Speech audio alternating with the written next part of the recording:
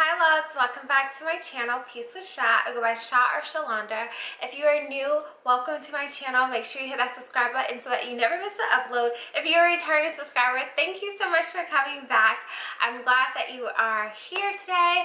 Today I'm going to be talking about how I straighten my natural hair.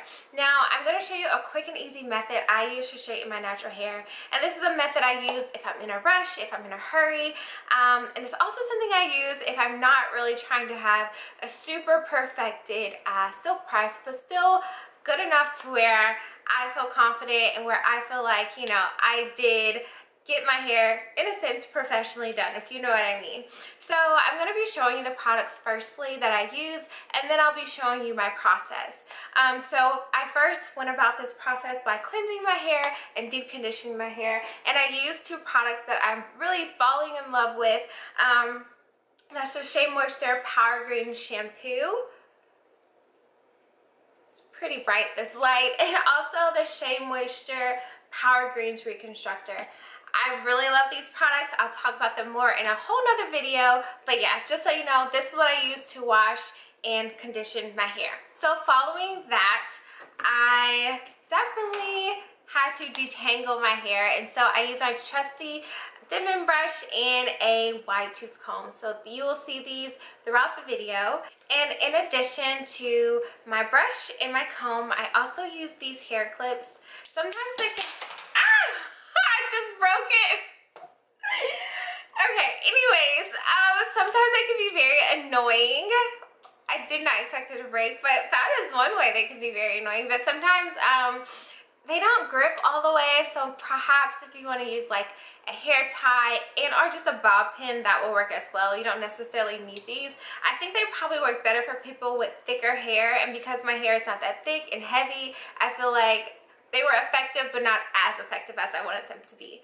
Um, so following that, I use this generic value product blowout spray and it's supposed to be compared to the Kenra blow dry spray and essentially it's just supposed to help the blow dry process be faster which I can attest to that and you'll see more so in the video. So this is what the spray looks like and I'll show you another clip of it as I'm using it in the video. Um, it was like $3. I got it on sale from Sally's. And following that, I used this Silk Element Strength and, Silk, Strength and Silk Coconut Heat Protecting Spray with Silk.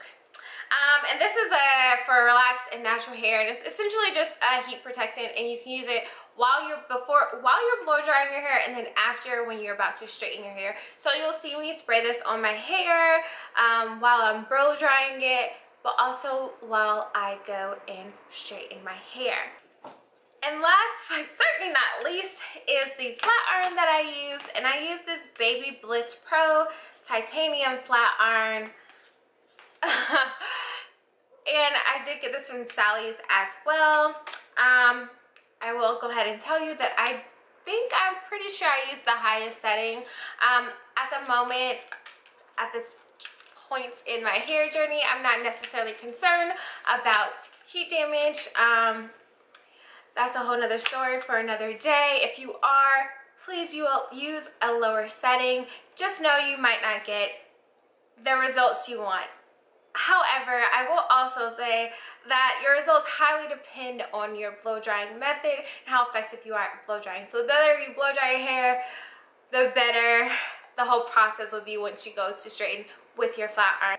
Okay, let's get into Okay, so I'm not going to talk through the whole process, but I do want to just let you all know that um, I usually use a Denman brush because it really helps me get my tangles out. And when you use the Denman brush, and you can alternate between horizontal and vertical, um, but when you use it in this way, it really does help you really get your hair smooth and that's what you want before you go about your uh, blow dry process. So this is me detangling my hair uh, while i have my deep conditioner that i showed you all earlier in my hair. And i let this sit for about a long time not gonna lie. Um, it doesn't matter how long. But you know just deep condition your hair before you straighten your hair to make sure that you're adding moisture and or any type of structure that you need back to your hair So after this process, I then wash this out and I proceed to blow dry my hair. So when I blow dry my hair, I like to do the tension method, which you're going to see throughout.